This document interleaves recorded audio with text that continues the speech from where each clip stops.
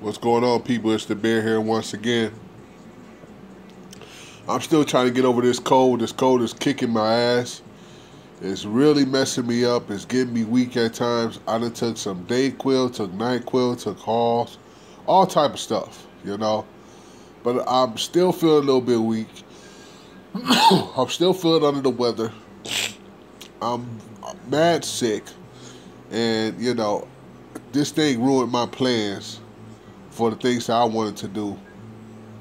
And yeah, I'm pretty pissed off about it. But anyway, let me get on to this video because I know I made a video before about why I left the Xbox and went on to PlayStation.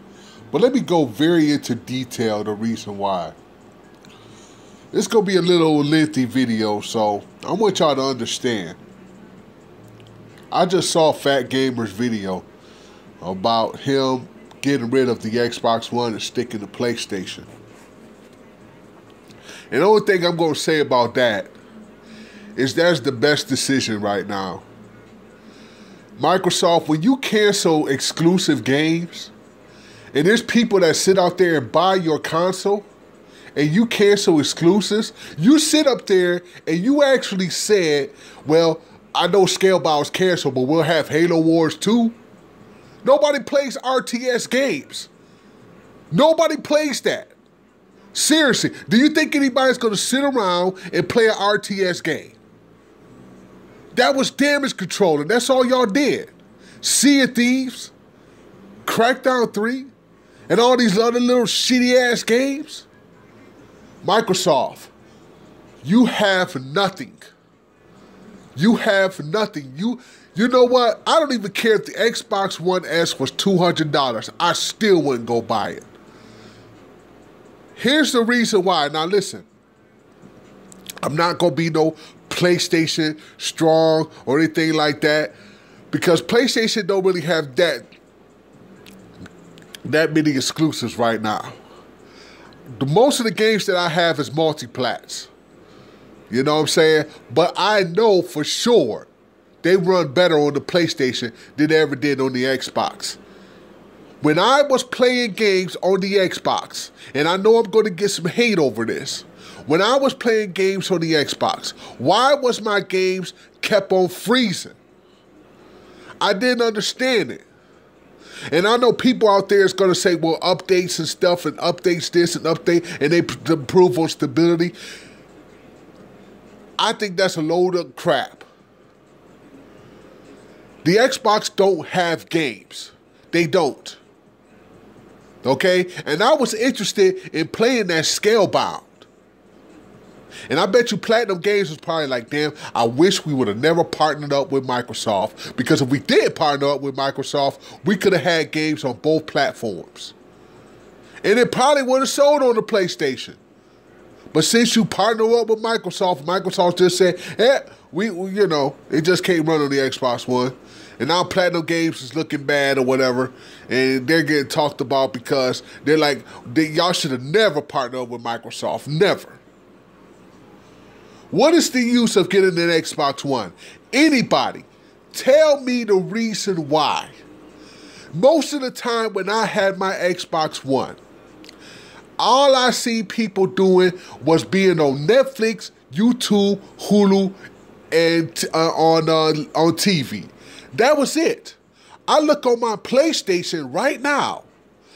I was doing a test. I got over 500 friends on, on PlayStation, right? I was doing a test to see how many people play games.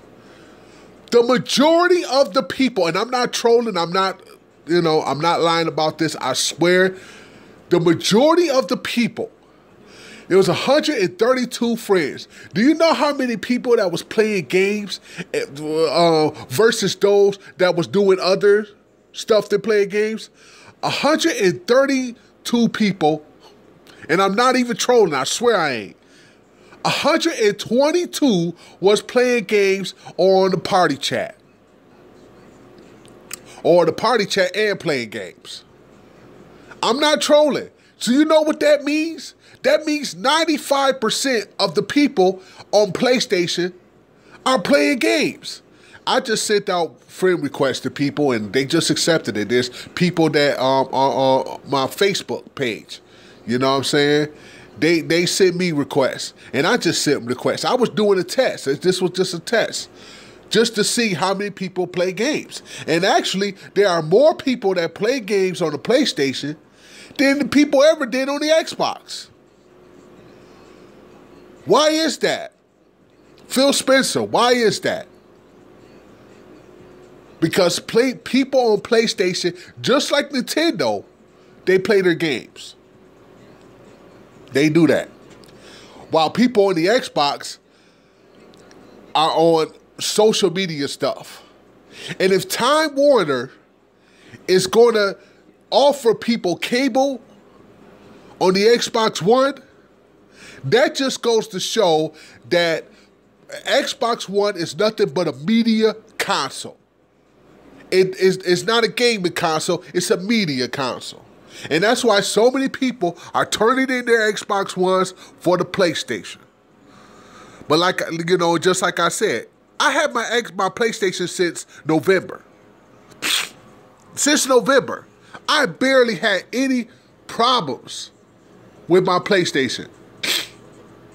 And I was playing games. I wasn't on Netflix. I wasn't on Hulu. I didn't see too many people on those type of uh, different uh, apps. Everybody's playing games. And I check it on a daily basis. I check it on a daily basis. So that just goes to show you where PlayStation is when it comes to gaming versus where Xbox is.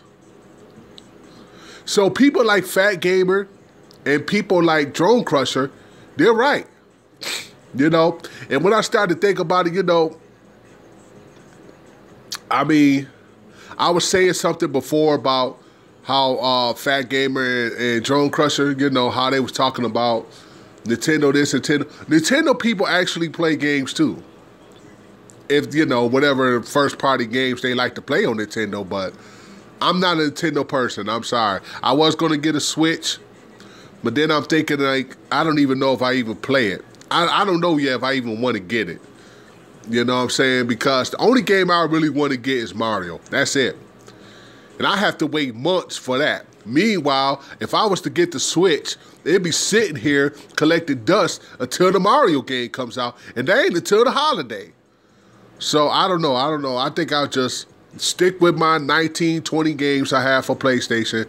Then hopefully something comes. But anyway, that's off topic. You know, Xbox One is done. You made it into a media console. People ain't feeling it no more. They see that it's just a media console for your Netflix and all that. You don't have any games. Your your exclusive, you're canceling your good exclusives, and then your damage control talking about some Halo Wars 2 and Sea of Thieves and all these other games that nobody ain't gonna play.